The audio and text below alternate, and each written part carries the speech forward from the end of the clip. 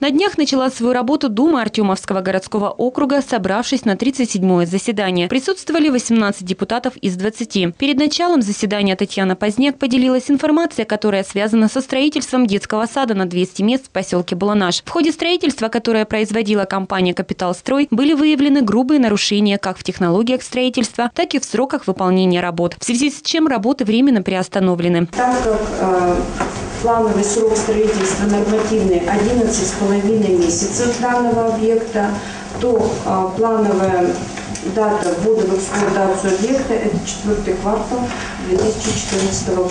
В связи с этим прекращены работы пока на объекте, потому что там было очень много нарушений, которые были документально подтверждены, направлены в адрес подрядчика. Данные нарушения были ими не исправлены, а была продолжена работа по демонтажу конструкции. А, учитывая, что это объект, объект социальной значимости, каких-либо нарушений по технологии, оно в принципе недопустимо, так как там предполагается а, размещение детского сада. Затем была принята повестка заседания, в которую на рассмотрение были включены 13 вопросов. Итак, вопрос, который обсуждали на комиссии о внесении изменений в программу управления собственностью Артемовского городского округа, был вынесен на заседание Думы, где Валентина Юсупова еще раз рассказала о его сути. Но депутаты задали вопрос, почему же надо принимать эти изменения, если отчисления в казну АГО не столь большие, всего 45 тысяч рублей. В этот момент глава администрации внесла кое-какие пояснения. Учитывая долговые обязательства Артемовского городского округа, казну мы получим, планируем получить только 45 тысяч. Э, в случае, если не будет завершено сводно-исполнительное производство.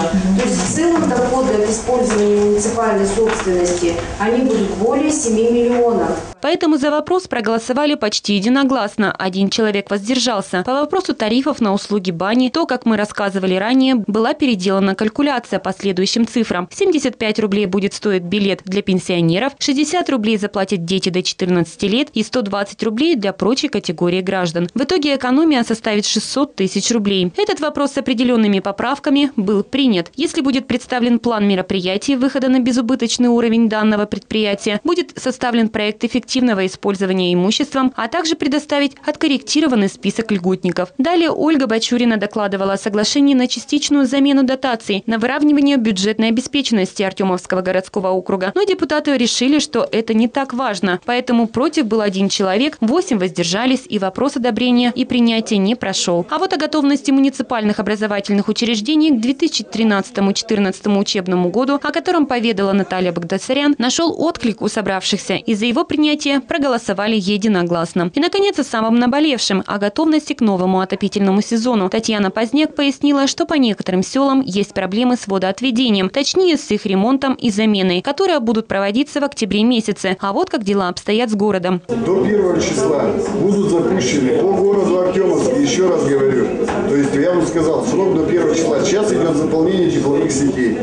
То есть разрешение от газовиков было получено только на открытие газа понедельник, 24-го Артемовская ТЭЦ начала ну, разворот станции и заполнение тепловых сетей. Вот телефонограммка официальная.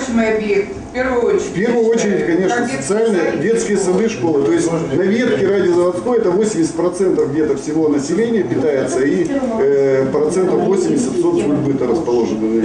Управляющие компании, то есть после заполнения тепловых сетей будут производить подключение и жилфонда, в том числе если касаемо объектов соцкультбыта, они тоже будут заполняться. И предупреждены, то есть и управление образованием. Вчера был штаб.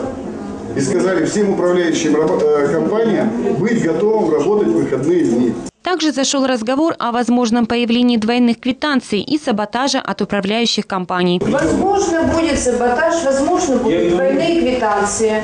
А, при этом, значит, опять же, Алексей Юрьевич, предвидя эту ситуацию, а, порядка трех недель назад Алексей Юрьевич приглашал руководителей всех управляющих компаний, прокуратуру, в том числе на этом, а, значит, совещании я присутствовала, где управляющие компании были предупреждены, им были выданы предостережение об ответственности за а, случай нарушения действующего законодательства, в том числе по двойным квитанциям. Надо добавить, даже депутаты отмечают то, что каждый год перед началом подачи тепла всплывают разные проблемы, о которых начинают вспоминать тогда, когда надо включать отопление. И ответственных нет, и спросить не с кого. А развешенные объявления о запуске тепла уже давно никого не греют. Из года в год у нас одна и та же песня. Наступает время холодов, и начинается долги, кто-то требует долги. А что, раньше никто не знал, что есть долги? Почему это всплывает тогда, когда люди уже требуют э, тепло? Нет, начинаем мы. Я вообще считаю, что действительно поставить ответственного человека и с него ну, такой человек, деловой, хозяйственный, не который вот так вот может только рассуждать красиво и говорить о законах, а взял э, там материалы, пошел и посмотрел, и гипестилия полазил по этим оврагам. Нужен деловой человек, ответственный. У нас, получается, все говорят, а ответственного-то фактически нет, нет, не с кого спросить. Все вроде бы действительно пытаются увести в сторону, что у нас вроде все хорошо. Объявление, но оно меня не греет.